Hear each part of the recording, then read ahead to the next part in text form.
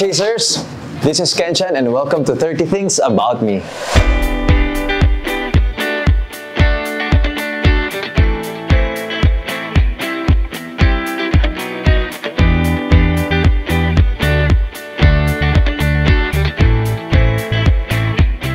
My first job was um, as a TV commercial. Naalala ko nung college ako. So, ah, pumasok ako sa sa De La Salle College of St. Benilde. And then, half ng classmates ko, parang nag, pinag-uusapan nila yung VTR casting. Wala akong idea kung ano yung VTR casting na. Sabi ko, ano ba yung pinag-uusapan ng mga classmates ko? VTR casting. So, lagi ko naririnig yun. Ah, ginagawa nila ah, yung pagko-commercial. Sumama lang ako one time sa kanila. Tinry ko lang. Sabi ko, pwede bang sumama? Kasi sayang naman kasi malaki daw yung kitaan sa sa pagko-commercial. Tapos, naalala ko pa noon, ang una kong ah, ginawa it was a fast food chain. And then, pipili lang sila ng isa na magiging face ng fast food na yun. And then, sa unang salang ko, I got it. I got the job. That was 2009. Ang naalala kong kinita ko noon, 80, 80,000 pesos. And I was so happy. Ah, nakatulong siya sa akin na pambayad ng tuition fee or kaya pambaon ko. Nakaipon ako kahit papano, kahit estudyante pa lang ako that time. While doing uh, TV commercials, uh, napunta rin ako sa mga magazines and um, pinakauna kong nabook noon na magazine was um, the Candy Magazine. Kung naalala niyo yung Candy Magazine, yung industriya na yun, talagang that was my stepping stone towards um, show business. And may mga naka- nakakita sa akin habang rumaramba sa stage o habang ginagawa ko yung mga magazine shoots. Um, tinanong ako ng isang ah, taong ah, talagang marami nagmamahal sa kanya sa industriya ng showbiz. Si ah, Tito Rams David. Siya yung nag- naging manager ko. Siya yung nagdala sa akin sa GMA7. And si Kuya Germs. Sila yung naging mentor ko. Hindi ko akalain na magiging artista ako. Wala talaga. Parang for me, it's impossible because that's masyadong mataas. Naalala ko nung bata ako, sa um, Carmona, Cavite. Doon kasi ako lumaki sa Carmona. May ano, may motorcade. May parada na narinig ko. Siguro ang mga ano ko noon, mga 7 years old, 8 years old. So sabi ko, sabi ng mga kapitbahay namin, may mga artista daw na darating. Inabangan ko yung mga artistang darating. Motorcade sila doon. Naalala ko noon sina Katrina Halili, sila Dion Ignacios, Jenny Lynn Mercado, sina Mark Heras. Sila yung um, Starstruck Batch 1. Tapos kaway-kaway sila. Tapos kaway-kaway din ako. Ah, hello guys! Tapos sinabol ko sila hanggang doon sa plaza. Ang layo ng plaza. Siguro may 1 kilometer siguro yun. Tinakbo ko yun. Kasi talagang I- I'm really a fan. I got so kilig because Katrina Halili approached me. Kasi nung nandun sa plaza, sabi ko, kung pwede akong magpa magpa-autograph. So sabi ko kay Katrina Halili, um, pwede kong magpa-autograph sa'yo. Eh, wala akong papel nun, wala akong pen. Nakita ko yung katabi ko, nagsisigaw siya doon, may pen, diniram ko, pwede makihiram, kinuha ko. Tapos wala akong papel. Dito na lang, sabi ko, dito na lang, pirmahan mo ako dito.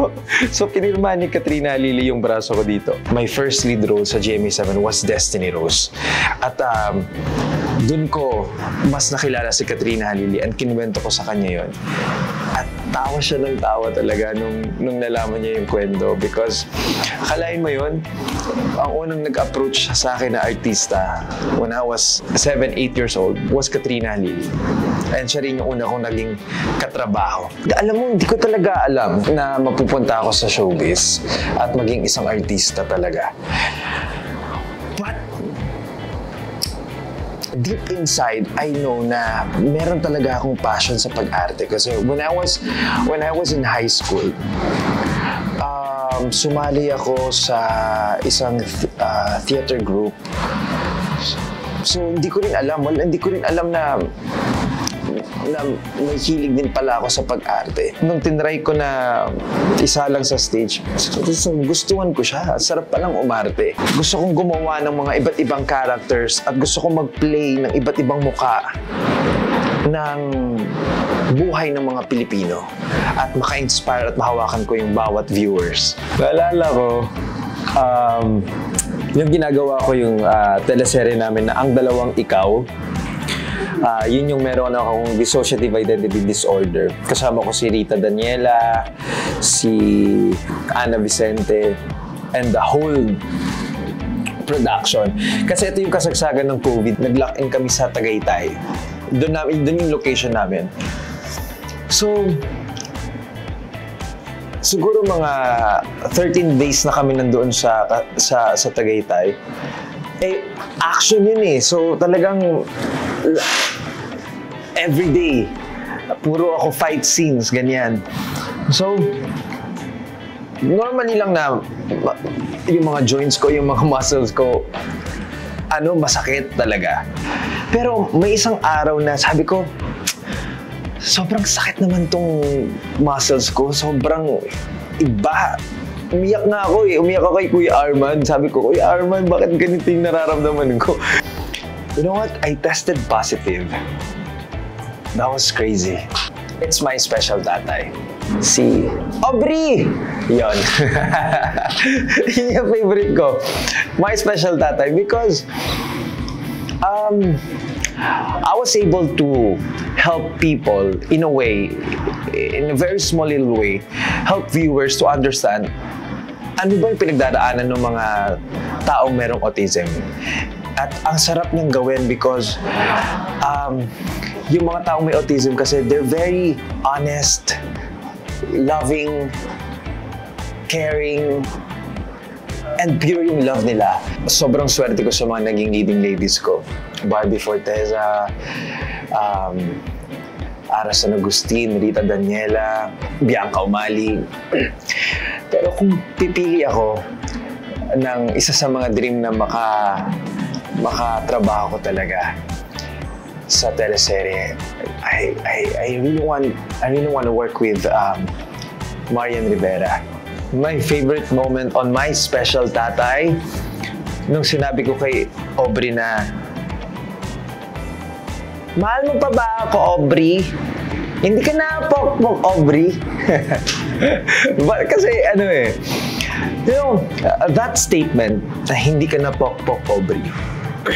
yes, the first place, it's nakakatawa, funny.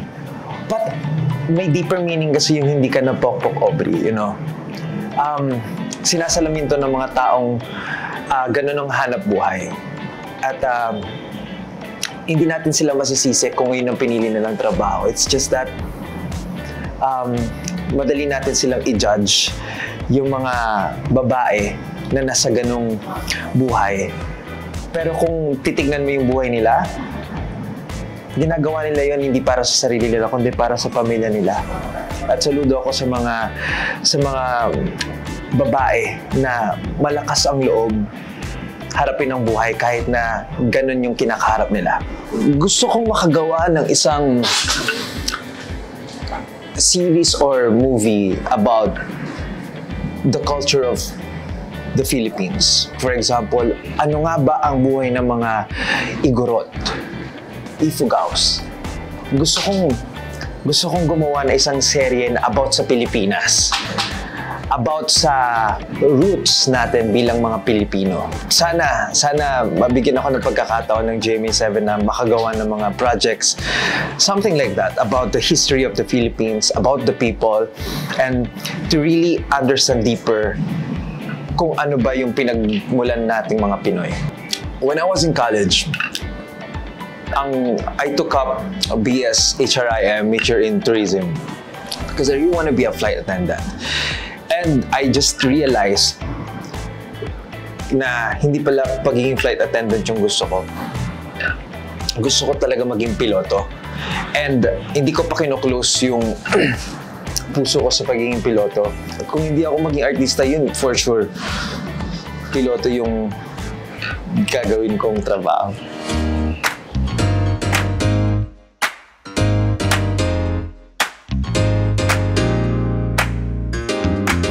Dalawa yung favorite kong Filipino food. Um, yung isa munggo na may chicharon, tsaka yung isa uh, paksiw na bangos. Yan ang dalawang napapakain ako ng kanin talaga. Hindi kasi ako kumakain ng kanin ngayon. Siyempre, kailangan magbawas ng timbang. Pero pag yan ang ulam, munggo, tsaka paksiw na isda, wala na. Ang favorite place ko naman to hang out, um, um, parang second home ko na kasing Tagaytay. Actually, hindi lang ako yung buong family ko. Kapag hindi kami, hindi, medyo maluwag yung schedules namin and um, gusto namin mag-bonding, we go to Tagaytay and um, wala lang, uupo lang doon, ah, kakain, magkukwentuhan, magko-coffee, ini-enjoy namin yung malamig na weather. And Tagaytay talaga yung place kung saan um, it's like a safe haven for me. Bukod sa matulog, kapag wala akong taping o wala akong shooting, I can watch seven movies in one sitting or um, binge watch ng series. Hindi lang sa nakakalma ako pag nanonood ako ng movies or series. Natututun na, may mga natututunan din ako. 'di ba? So, line pa rin siya sa trabaho. So, natututunan ko yung paano mga konting ah, konting ah, mga technique sa pag-arte from inter- from an international movies or um, series. So, na-apply ko rin siya sa ah, trabaho. Worst experience ever. Nagsushooting kami nila Rita Daniela ng isang serye. Um, grabe. Ngayon lang ako nakakita ng ano, ah, ipo-ipo. Um, habang, na, habang nasa set kami, eh, ano yung barilan yung ano, yung yung eksena. Ang lakas ng hangin. Sabi namin, may bagyo ba? May bagyo ba? Tapos may ipo, may ipo-ipo pala. Hindi naman siya ganun kalaki, pero sabi nila, ipo-ipo daw yun. So nakita ko talaga yung mga dahon, yung mga alikabok, yung mga sand. um, Paikot talaga. Tapos siguro yung taas niya mga mga kasing taas ng ano mga kasing taas ng isang puno. Tapos pumunta kami sa tent ng mga lahat ng mga artista, lahat ng mga ng buong yung buong production. Tapos yung tent namin parang ah, nadaanan as in yung tent namin talagang umaano, umaalog. So, takot na takot kami. Tapos, put, pero hindi naman siya ganun ka, ano, katagal. Nung bata ako, isa sa mga gusto kong nilalaro, tagu-taguan. Kasi ano ko eh, batang kalye ko eh. Ah, talagang hindi ako natutulog sa hapon. Lagi ako pinapagalitan ni mama kasi siyempre tayong mga magulang natin gusto natutulog tayo sa hapon, di ba? Pero ako hindi, tumatakas ako para makipaglaro sa mga kalaro ko. Punta ako ng bakanting lote, tapos yun, ah, maglalaro kami kung ano-ano, touching ball, langit lupa, ah, shato, ah, moro-moro, taguan base, pero pinaka-favorite ko talaga tagu-taguan. Isang, isa sa mga hindi ko makakalimutan nung childhood ko, every Christmas, lagi akong nangangaroling. Mag-umpisa yan 6 p.m. Tapos, ah, matatapos kami siguro mga alas 10 mga 10 p.m. Kasama ko din yung mga yung mga childhood friends ko. Naalala ko na, pag nakapag nakapangaroling kami mga kumikita kami ng mga ano ng mga 80 pesos ganyan. Tapos paghahatian namin yon. Pupunta kami sa isang karinderya, kakain kami doon or ah, iinom kami ng ano Milo, yung hot chocolate. Eh mura lang yun, mga nasa 10 piso lang isa nun dati. Tsaka nga sa'yo na experience, yun yung hindi ko makakalimutan scariest thing I've ever done, sa totoo lang, tinulak ko yung kapatid ko, siguro mga 5 years old ako, mga kapatid ko mga, ano, 3 years old lang, tinulak ko siya sa hagdan, eh mataas yung hagdan namin sa bahay. Tinulak ko siya, naggulong-gulong siya. Alam mo yun sa pelikula, naggulong-gulong kapatid ko. Tapos pagdating niya dun sa dulo, hindi siya umiyak. Talagang nakapikit lang siya. Nawalan siya ng malay. Tapos nagsigawan lahat ng mga tao sa bahay. Tapos di ko alam kung anong gagawin ko. Siyempre, nashock din ako. Parang bakit ko ginawa yun? Ba't, ba't ko tinulak yung kapatid ko? Hindi, naglalaro kasi kami. Baka sabihin nyo naman, masama akong bata. Hindi naman. ano, naglalaro kasi kami. Tulakan-tulakan kami. Tapos tinulak ko yung kapatid kong gano'n. Hindi ko akalain na mahuhulog siya. Nahulog siya sa hagdan. Tapos, Siyempre, hin- dinala siya sa, sa hospital. hindi ko makakalimutan yun. Sobrang takot na takot ako noon. Until, un- actually, until now, kapag naisip ko yun, parang sabi ko, ba't ginawa yun? Ang alam na talaga ng karamihan, hindi talaga ako masyadong ma- sports talaga. Pero, um, ako, pati yung mga kapatid ko talaga, and yung karamihan sa bahay, mahilig manood ng football. Ang ah, lagi naming kinakampihan at lagi naming sinusuportahan, Manchester, football. So, because of Cristiano Ronaldo, idol namin si Cristiano Ronaldo kasi. So, yan. I love firing.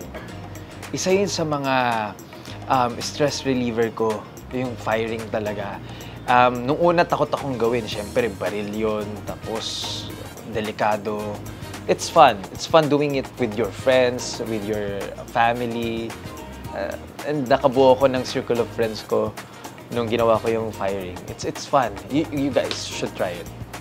Every time I'm outside the country, um, una kong gagawin talaga ay pumunta sa church or sa temple nung specific country na yon. And really to immerse with people and try their local food. Hindi ako mahilig mag-shopping eh.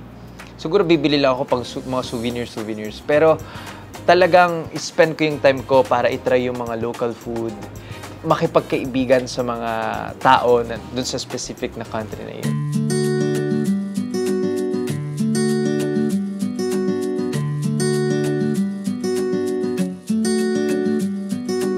For me, um, for me, it's 35. Okay na yun.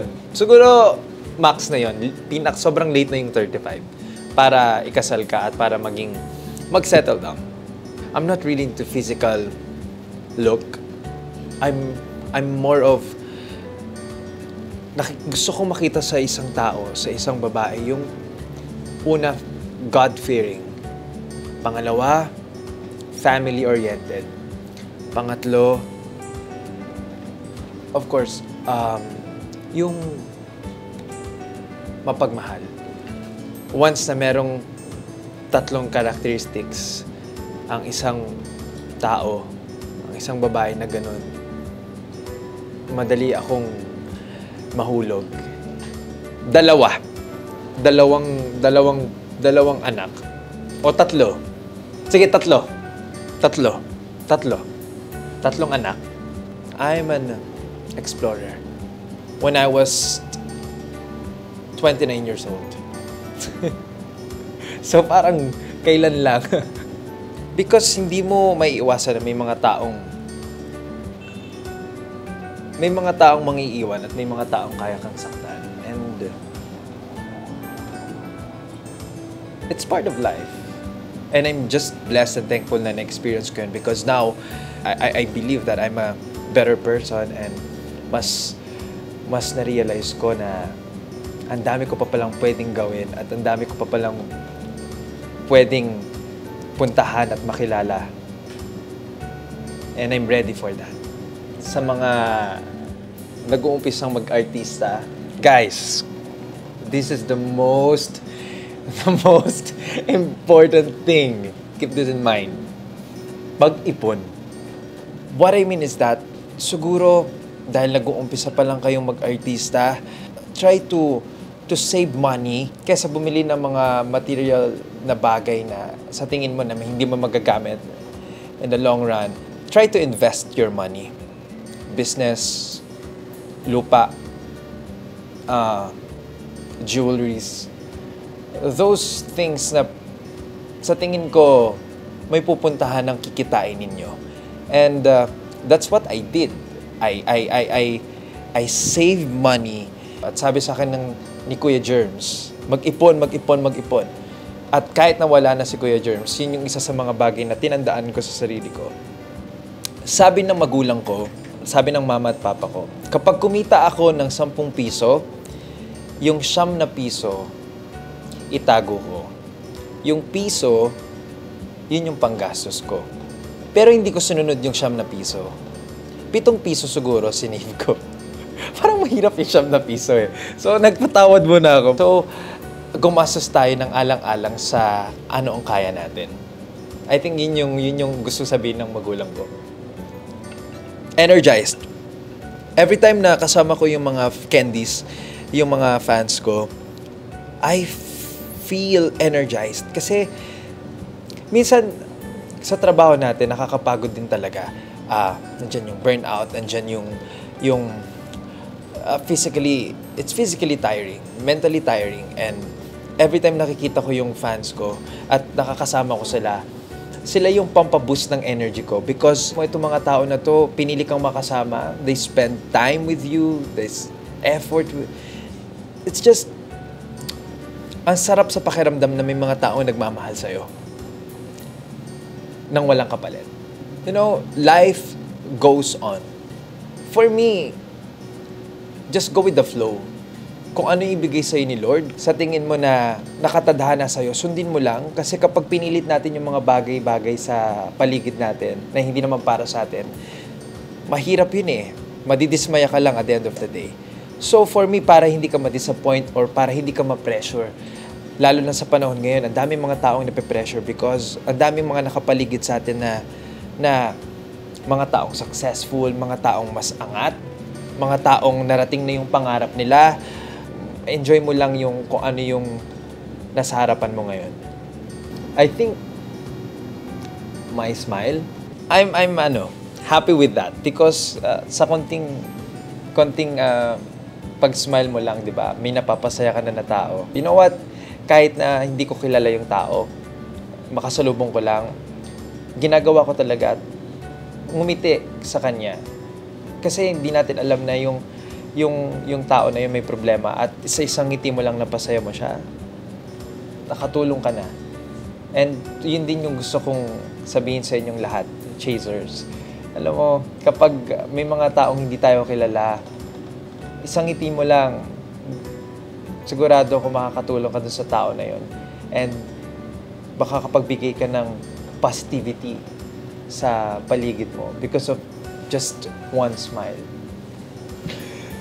Happy ako kasi ang dami ko rin natutunan. Ang daming pinaremind sa akin. Ganito pala ako nag-umpisa. Ito pala yung mga tinahak ko. Ito pala yung mga naranasan ko. Pakikipagsapalaran ko. From batang nangarap hanggang sa naging breadwinner, hanggang sa naging businessman. I'm just so blessed and thankful. Dahil ito yung mga palatandaan ko bilang isang mabuting tao.